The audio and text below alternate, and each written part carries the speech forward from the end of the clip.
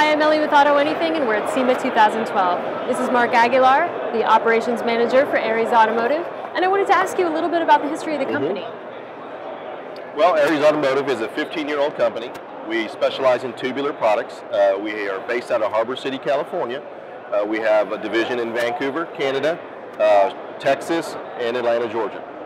And of course, our specialty this SEMA is our aluminum products, which as you can see, uh, this is obviously stainless, but we have our aluminum blacks, which are of course will never rust, and we also are launching our Glow Step, which I don't know if that's going to come out, but that is a new brand that will launch first quarter of next year.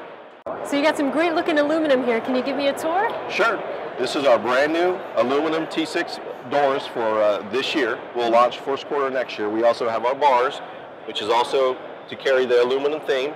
We have our light bar here, aluminum polished, and then inside we have our brand new temporary seat defender, which will of course keep anything clean, and our floor liners that are, you know, patented KGU liner.